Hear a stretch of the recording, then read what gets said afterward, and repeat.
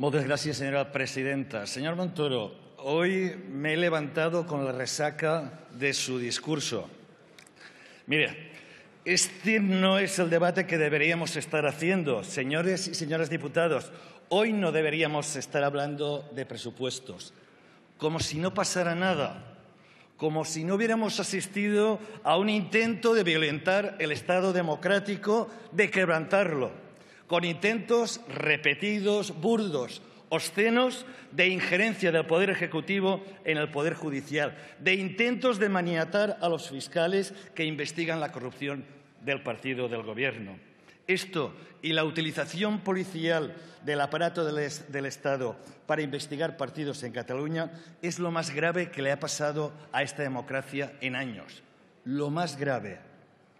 Hoy no deberíamos estar haciendo este debate hoy, si nos quedara un mínimo de dignidad, si quisiéramos realmente ser útiles a este, país, a este país, no seguiríamos rasgándonos las vestiduras en las tertulias o pidiendo comparecencias. Hoy deberíamos estar hablando de una moción. Me da igual de Podemos, del PSOE o de quien sea, pero de una moción para apartar a este partido trufado de corrupción del Gobierno. Y, sin embargo, hoy seguiremos el guion previsto. Debatiremos los presupuestos y hoy algunos apretarán el botón del sí y otros votarán, eso sí, muy dignos, el botón del no. Pero al final todo continuará como hasta ahora, con, el PP gobernando. Así se las ponían a Mariano Rajoy. Así se las ponían a Mariano Rajoy. Como decía Julio Iglesias, la vida seguirá igual.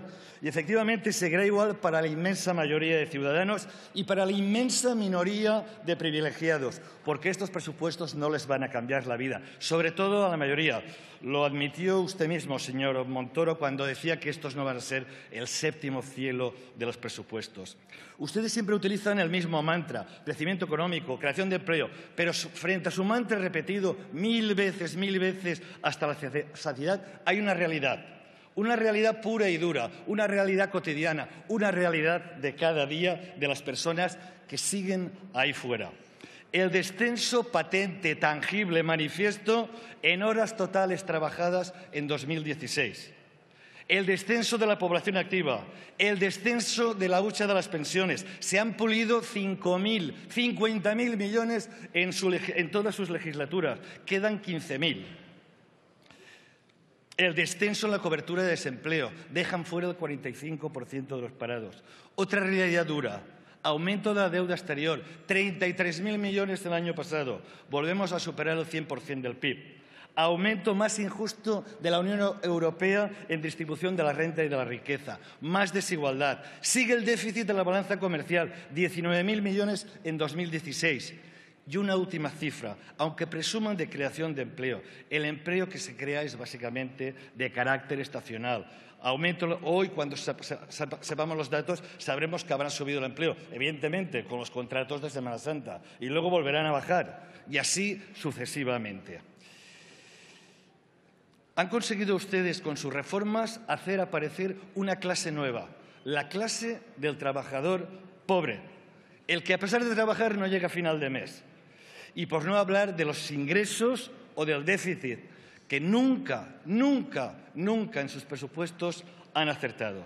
Son otras cifras que usted no mencionó, no mencionó ayer. Por último, el reparto del déficit del 3.1 constata una injusticia más. Es decir, el Estado sin competencias en sanidad, en educación, en servicios sociales, se reserva la mayor parte del déficit, el 80%, y deja solo unas pequeñas migajas a las comunidades autónomas y nada a los ayuntamientos. Por cierto, 7.000 millones que tienen los ayuntamientos y que no pueden movilizar para crear empleo. ¿Cuándo se va a acabar esto, señor Montoro?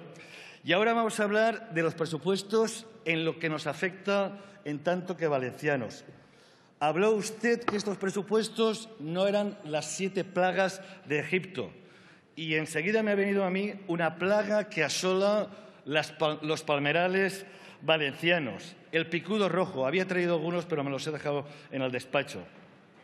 El picudo se introduce en una palmera sana y la va corroyendo por dentro.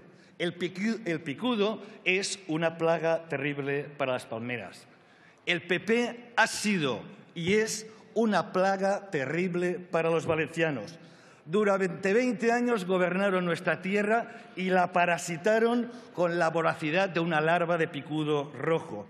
Y todos, todos, todos sus presupuestos han sido una catástrofe para Alicante, para Castellón y para Valencia. Han sido injustos, devastadores. Pero, señor Montoro, sobre todo han sido parciales, manifiestamente parciales. No existen criterios objetivos de por qué hacen un gasto, de por qué hacen una inversión en un sitio y no en otra. ¿Por qué? ¿Qué criterios siguen ustedes? ¿Por qué se postergan otras inversiones años y años y años y años? Señor Montoro, dígame, ¿qué criterio ha seguido para invertir 119 euros por habitante en territorio valenciano, siendo como es una comunidad autónoma más pobre que la media, y usted lo sabe, y 405 en otro con una renta per cápita más alta. Y esto un año y otro y otro y otro, en todos sus presupuestos. Señor Montoro, ¿qué criterio ha seguido usted para dar 126 millones en el transporte metropolitano de Madrid y cero euros para Valencia o para Alicante? ¿Qué criterio? Señor Montoro, ¿Qué criterio ha seguido para invertir 329 millones de euros en cercanías de Madrid y un uno solo en Valencia o 300.000 euros en Alicante? Señor Montoro, ¿qué criterio ha seguido para reconocer que el País Vasco ha pagado 1.400 millones de más estos últimos años, desde 2007, y no es capaz de reconocer los 14.000 millones de infrafinanciación que tiene la comunidad autónoma valenciana desde 2002 a 2015, sabiendo que nuestro nivel de gasto por habitante es un 12% inferior a la media, mucho más inferior a lo del País Vasco, y sabiendo que nuestra renta per cápita es un 12% inferior a la media española. Señor Montoro, Ustedes han sido capaces de negociar el cupo vasco en dos semanas y han sido incapaces, incapaces de, aprobar un nuevo sistema de financiación en seis años. En seis años tenían mayoría absoluta y no lo sacaron. ¿Por dónde se rompe España, señor Montoro? ¿Por dónde se rompe? Yo se lo diré. España se rompe por el Ministerio de Hacienda, se rompe por sus presupuestos. Acabo. Las Cortes Valencianas aprobaron por unanimidad, y cuando digo unanimidad, digo Partido Popular y Ciudadanos también, Partido Popular y Ciudadanos, aprobaron una declaración institucional de rechazo a estos presupuestos. Todos los partidos, toda la sociedad valenciana comparte esto que han aprobado nuestras Cortes. Compromís será consecuente con nuestro Parlamento.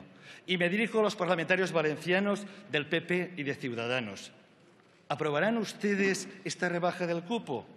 ¿Van a aprobar estos presupuestos de vergüenza para los valencianos? ¿A quién van a servir ustedes? ¿A los valencianos o a su propio partido?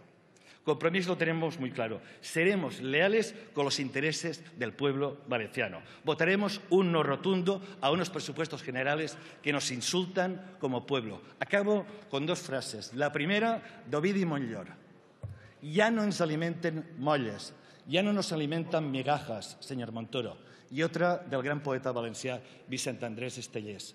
Vidrà un dia que ja no podrem més i aleshores ho podrem tot, senyor Montoro. Ho podrem tot. Moltes gràcies, senyora presidenta.